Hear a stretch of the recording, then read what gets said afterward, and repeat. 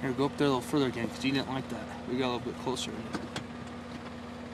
I don't know if I want it. He's gonna come jump up and come get us.